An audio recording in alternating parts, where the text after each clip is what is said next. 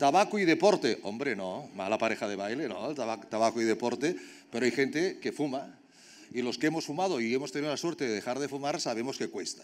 Entonces, la deshabituación tabáquica en el deportista, un tema fantástico y fundamental del que nos va a hablar la doctora Marisa Romero García, que es licenciada en Medicina y Cirugía por la Universidad Complutense de Madrid y es especialista en Medicina Familiar y Comunitaria y en deshabituación tabáquica. Doctora Marisa Romero García, muy bienvenida, un fuerte aplauso. Hola, buenos días. Un aplauso, por favor. Muy buenos días. Vamos allá, vamos a intentarlo. Bueno, pues eh, mi nombre es Marisa, Marisa Romero, trabajo en un en un centro de salud de atención primaria y eh, bueno, pues me han invitado y muy gustosamente eh, pues me acerco aquí con, todos ustedes para em, bueno, pues ver que el tabaco eh, va más allá de lo que estamos acostumbrados, de las enfermedades cardiovasculares y, y el cáncer y que bueno, pues también nos puede afectar a los músculos, a nuestros huesos y a nuestras articulaciones. Vamos a ver un poquito todo esto. Bueno, eh, hablar de los efectos nocivos del tabaco, pues a estas alturas no resulta pues, nada novedoso. ¿no? Eh, tal vez deberíamos eh, bueno, pues ver algunos conceptos ¿no? para, bueno, pues para profundizar un poquito más. ¿vale? Para, ya sabemos que es malo, pero, pero bueno, ¿En qué sentido es malo? Pues de, estas cuatro frases yo me quedaría como en los eslóganes publicitarios, ¿vale? Cuando se acaba el anuncio y dices, pero me he quedado con esto. Pues no quiero que se les olvide que las personas fumadoras como media tienen una eh, esperanza de vida menor de 10 años. ¿vale? Esto nos tiene que llamar la atención, pero nos tiene que llamar la atención desde ya. Es decir, ostras, los fumadores ya viven 10 mm, años menos como media. Em, es evidente que todo el mundo querría dejar de fumar, ¿no? Si pudiera, pues todo el mundo quisiera, todo el mundo lo dejaría. Eh, sin embargo, sin la ayuda sin ayuda profesional, pues solamente eh, hay muy poquitos que lo dejan así definitivamente, ¿no? solo el 4%. Entonces, ¿cómo nos afecta el tabaco? Bueno, como he dicho en la introducción, el tabaco, eh, bueno, pues parece que siempre lo relacionamos con te va a dar un infarto, te va a dar un ictus, eh, aumenta el riesgo de cáncer, pero también nos afecta a nuestros huesos, a nuestros músculos y a nuestras articulaciones. Y la frase que yo veo mucho en, mis pacientes, cuando les descubro que son fumadores, les digo, ah, pero usted fuma, ¿no? Y me dice, sí, pero hago mucho deporte, doctora. Y entonces, y me quedo así mirándoles y me dicen, entonces es un poquito menos malo, ¿no? Que fume. Digo, no, te puede costar igualmente la vida. Bueno, pues vamos a meternos en el mundo del cigarrillo. Esto es como ahora diría eh, nuestra amiga Tamara Falcó, nos vamos a meter en el mundo del metaverso. ¿Qué tenemos? Bueno, pues en el cigarrillo podemos ver hasta más de 4.000 eh, compuestos químicos. ¿no? Bien, de ellos yo me quedaría con dos el monóxido de carbono y la nicotina. Entonces, ¿cómo explicamos el monóxido de carbono? Bueno, pues lo explicamos de una forma para que todo el mundo lo entienda. Es como si tuviéramos un autobús, en ese autobús tenemos que transportar viajeros, que va a ser nuestro oxígeno. ¿Y nuestro oxígeno dónde tiene que llegar? Pues a los músculos. Pues bien, en el paciente fumador no va a llegar oxígeno, sino va a llegar monóxido de carbono, que es lo que hay en el humo del cigarrillo. Y eso, cuando llega a los músculos, no funciona igual. No hace que se contraiga mejor el músculo y no hace su función eh, que funcione bien. ¿no? Con lo cual, el paciente, el deportista en este caso, se cansa más y se recupera mucho más tardíamente. Eso, por una parte, con el monóxido de carbono. ¿Y qué nos pasa con nuestra amiga la nicotina?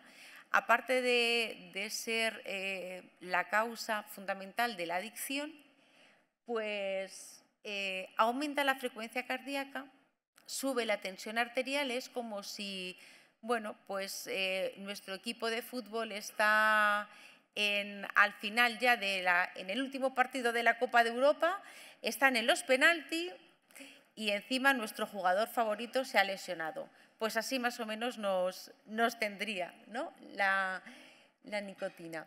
Entonces, eh, bueno, pues en resumen, el tabaco en los pacientes, bueno, en los deportistas, deportista y fumador, le puede costar la vida y porque, en resumen, disminuye su capacidad aeróbica. Eso es lo importante. Bueno, y como estamos en, un congreso con, eh, bueno, pues dedicado a nuestras maravillosas articulaciones, ¿qué podemos decir del tabaco y la afectación articular? Quiero que salgan con una idea. Como norma general, afecta a todas las articulaciones. ¿Y de qué manera? Pues principalmente en dos. Aumenta el dolor y eh, disminuye la respuesta a la analgesia habitual. Tengo muchos pacientes em, bueno, pues con problemas reumatológicos, tanto con, eh, bueno, pues desde lupus, artritis reumatoide, espondiloartritis. De ellos, el más común veremos ahora que es la artrosis. Y todos ellos responden eh, regular o mal a la analgesia habitual y de hecho muchas veces los descubro así. No me ha dicho que son fumadores, pero paciente joven ya con dolor articular que le pongo bueno, pues un antiinflamatorio de base que no mejora, que no mejora, hasta que ya le descubro, no estarás fumando. Y ya me lo confiesan, porque hay que subir el poder analgésico. Bueno, pues eh, preparando esta, esta, charla, ¿no? Digo, bueno, pero todos los eh, deportistas eh, fumarán, tanto en equipos como atletas en, en, individuales, etcétera, y me di cuenta que los deportes de equipo eran los que fumaban más. ¿no? Y de hecho, pues me llamó mucho la atención que eh, Johan Cruyff, el eh, jugador del Barcelona, era un fumador empedernido. Entonces busqué fotos de él y cómo después de que le hubiera dado un infarto, eh, bueno, pues salía, bueno, chupando como chupachus o, o piruletas o tal, ¿no? Bueno, la artrosis es em, la enfermedad crónica más frecuente. Más frecuente, bueno, pues por dos motivos. Claro, porque vamos envejeciendo y porque además son las articulaciones las que más sufren. Con, eh, bueno, pues en el fumador son las que más sufren, las que más se van a ver afectadas. Bueno, aquí eh, me gustaría hacer mención a cómo directamente el, humo del cigarrillo nos puede afectar. Nos puede afectar en nuestros huesos. ¿Cómo? Porque em, en un primer momento disminuye la eh, absorción de calcio, con lo cual vamos a fabricar un hueso que es un hueso más débil. Es como si em, el edificio que vamos a construir se estuviera debilitando. Entonces es como en la casita esta que fabricaba los tres cerditos, que con un soplido se derrumba. Pues es eso. Eh, esa, mm, bueno, pues esa excepción que a lo mejor era un poco desconocida entre los pacientes fumadores, hay que decir que eh, el tabaco daña y daña los huesos directamente por la falta de absorción de calcio, porque eh, las células formadoras de hueso, que en este caso son los osteoblastos, se encuentran más débiles y en resumen hacemos un hueso pues mucho más pobre. Y aquí vemos en la imagen cómo sería un hueso normal y un hueso em, osteoporótico. Bueno, eh, el tabaquismo, a estas alturas yo creo que ya estamos como muy concienciados, ¿verdad?, que es, em, bueno, pues que, tiene efectos nocivos, que no, no nos añade efectivamente ¿no? nada, nada nuevo ni a nuestros huesos ni a nuestros músculos. Y eh, sobre todo veo pacientes deportistas y que a nivel lumbar tienen hernias discales y cada vez más jóvenes, ¿vale? Cada vez más, más jóvenes. Hernias discales, eh, desgarros musculares eh, y además es que el tiempo de recuperación Em, bueno, pues suele ser más, eh, más lento. Entonces, bueno, pues vamos a ayudar a estos pacientes. Ya sabemos lo malo que es, ¿vale? Pero, pero vamos a ayudarles, ¿vale? Entonces, bueno, pues hay varias, eh, varias herramientas. Yo, em, bueno, pues en mi consulta procuro dar siempre un mensaje alentador, ¿no? un mensaje positivo, un mensaje para que el paciente salga con, motivado a dejar de fumar. Entonces, eh, llevo varios años preparando talleres de, deshabituación tabáquica. Los talleres básicamente consisten en eh, bueno, pues unas clases eh, programadas, son seis clases, repartidas es, más o menos es una a la semana, de tal manera que eh, en seis semanas el paciente deje de fumar. Entonces aquí, bueno, pues eh, les contamos todo lo negativo del tabaco, que eso ya bien sabido lo tienen, pero además les damos estrategias, sobre todo para vencer el síndrome de abstinencia. ¿no? Y la verdad es que, mm, bueno, pues eh, queda un poco feo decirlo, pero me siento muy orgullosa que los pacientes eh, es satisfactorio que, sí que dejan de fumar, más de la mitad, y, y además a medio y largo plazo, como yo les hago seguimiento telefónico, pues eh, están muy contentos y casi todos dicen, no, es que es la mejor decisión de mi vida. O sea, algunos después del divorcio, eso es lo que, lo que afirman, ¿vale? Bueno, y em, el tratamiento, si eh, les podemos ayudar de otra manera, lo podemos dividir en dos partes. ¿no? Un tratamiento sustitutivo con, eh, con, nicotina en forma de, pues, de parches, de chicles, de, de comprimidos em, chupables y luego otro que sería un tratamiento farmacológico sin nicotina, de los cuales los dos primeros han desaparecido, eh, bueno, eh, están en desabastecimiento porque tenían un componente que bueno, pues se demostró que podría aumentar el riesgo de, cáncer. Y me quedo con el último, que está financiado desde pues desde el 1 de febrero de este mismo año, que es la citisina. Es ya muy antiguo porque, de hecho, bueno, pues buscando información de dónde procedía, es un alcaloide eh, vegetal que lo que hace es unirse a los receptores de nicotina que tenemos a nivel cerebral. Entonces, bueno, pues básicamente lo que siente el paciente es que le disminuyen las ganas de fumar. ¿no? Pero eh, ya se utilizó en la Segunda Guerra Mundial, cuando eh, bueno, pues las tropas eh, no tenían, se les acababa el, tabaco, entonces les mandaban a coger hojas de un árbol, de laburco o algo así, que las machacaban y entonces era como muy similar al, tabaco de fumar. Y entonces, bueno, pues copiaron la idea y de ahí ha salido este medicamento. Entonces, eh, bueno, pues me llamó, me llamó la atención. Y bueno, pues básicamente es eso, es eh, intenta eh, llegar a los núcleos donde se une la, a los núcleos cerebrales donde se une la nicotina y entonces el paciente no tiene tantos síntomas de, abstinencia.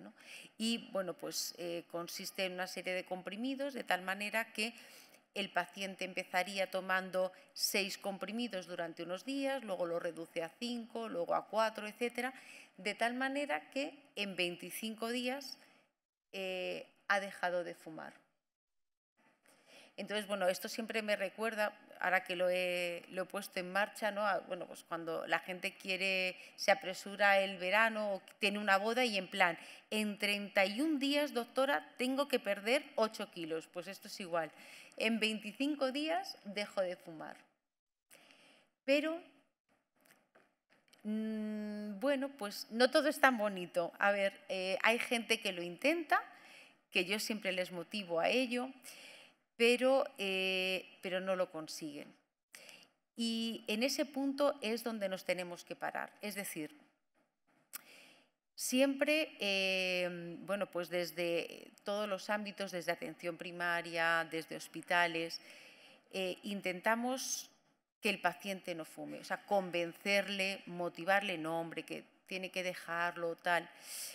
hay muchos que lo intentan, hay muchos que vienen a, a los talleres, otros que lo intentan bueno, pues, eh, por eh, tratamientos farmacológicos, pero hay una eh, población, más o menos un 33% de fumadores que no lo consiguen. Y, a esos también hay que ayudarles. A esos incluso un poquito más, porque porque ¿qué hacemos con ellos? No les podemos poner en las vías del tren para que salten, ¿vale? Hay que ayudarles, ¿no? De alguna manera. Entonces, eh, bueno, pues puse esta imagen, como diría el cholo, partido a partido, ¿no? Vamos a ir pasito a pasito.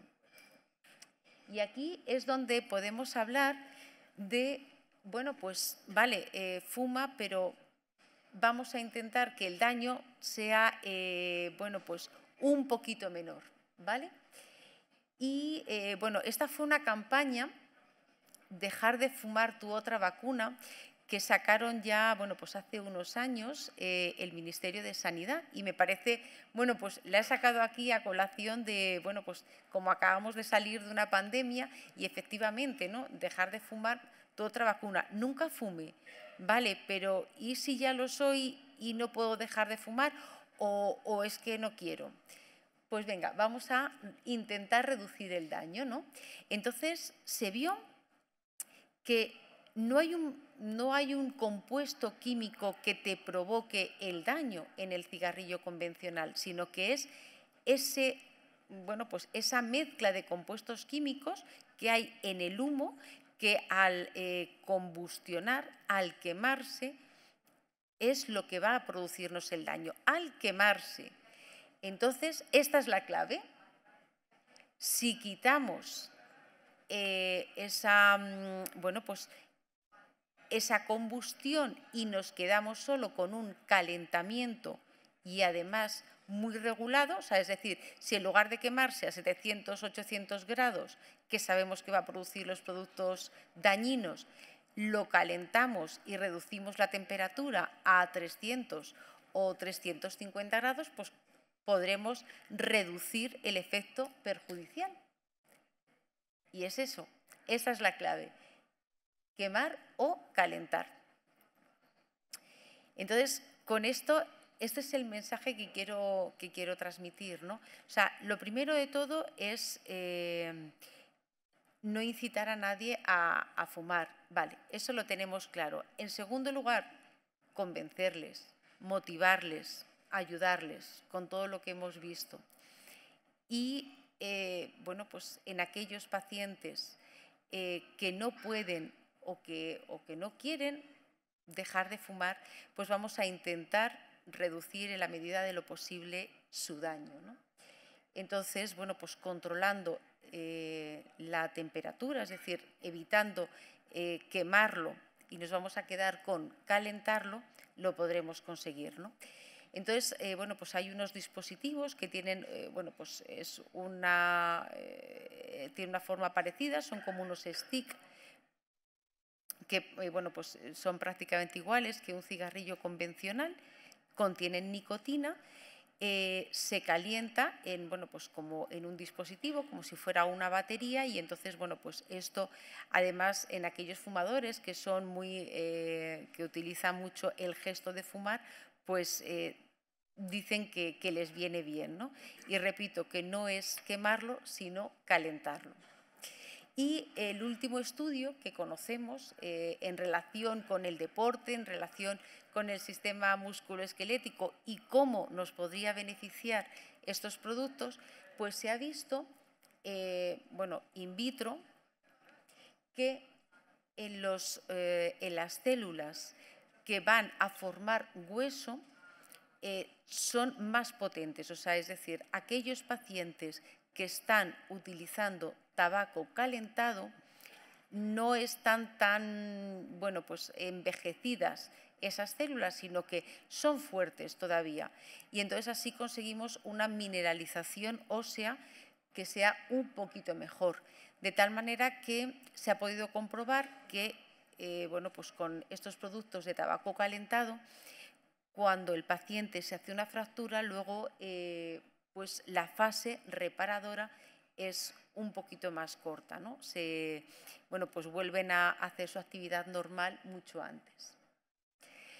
Bueno, y con esto eh, espero que les haya hecho una, bueno, pues tener otra perspectiva de, lo que es, eh, bueno, pues el tabaco, la combustión y sobre todo, pues ampliar el horizonte, ¿no? Es decir, no solo me afecta el tabaco a lo que es eh, mi corazón o bueno, pues el, tema del cáncer, sino que también afecta a lo que es nuestro andamio, nuestro esqueleto, con el que mm, nos vamos a, poner en pie, a caminar eh, y a disfrutar de la vida, ¿no? que es eh, el sistema musculoesquelético.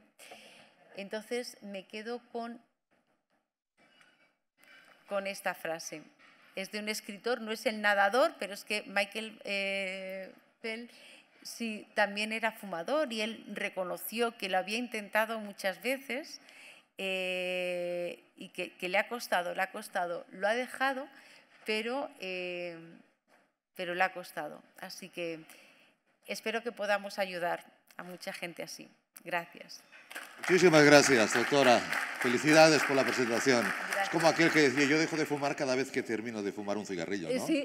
yo dejo de fumar 40 veces porque, al día porque fumo 40 cigarrillos. Yo no me imagino un deportista profesional fumando.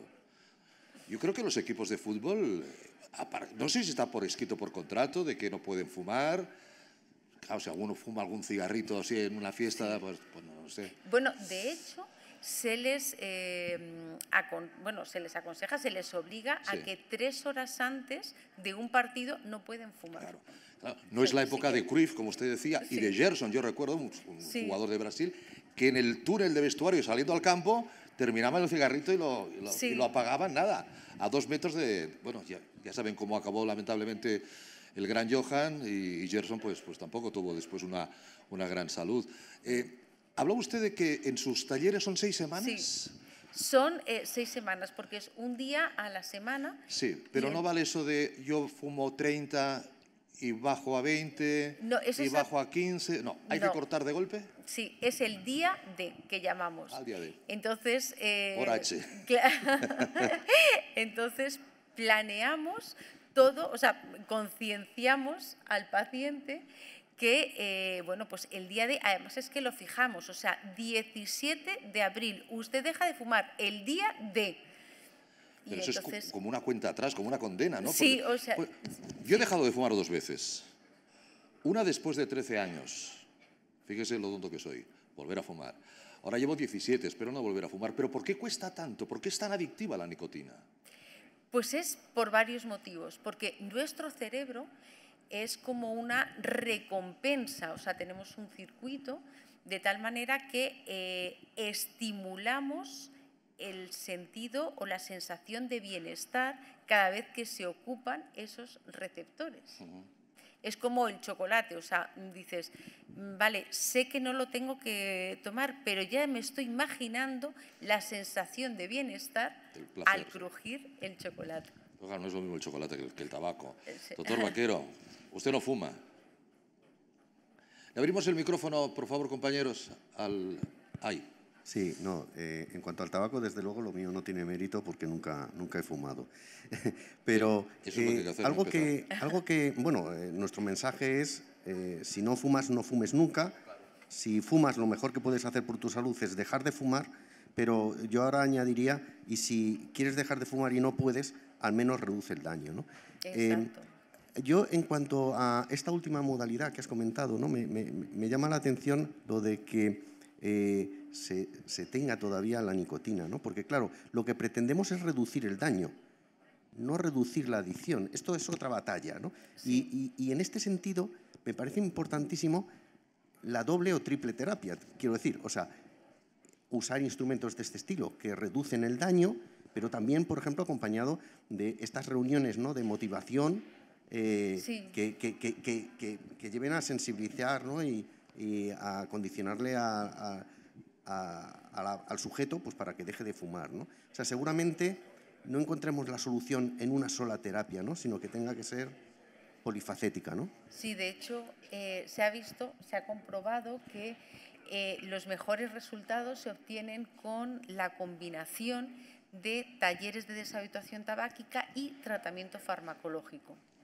O sea, en muchos pacientes ya, eh, bueno, pues eh, les pasamos un cuestionario eh, antes de entrar en los talleres, que son el, eh, cuestionario de Raymond y de, mm, eh, y de Movinson, que son bueno, pues para ver la motivación y la dependencia. Entonces, bueno, pues puede ser leve, moderado o severa, de tal manera que en los pacientes que ya tienen una dependencia muy severa, aparte de venir al taller, les ponemos tratamiento farmacológico pues en forma de parches o sobre todo en forma de parches, porque los chicles luego les dejan mal sabor de boca, boca seca, etcétera.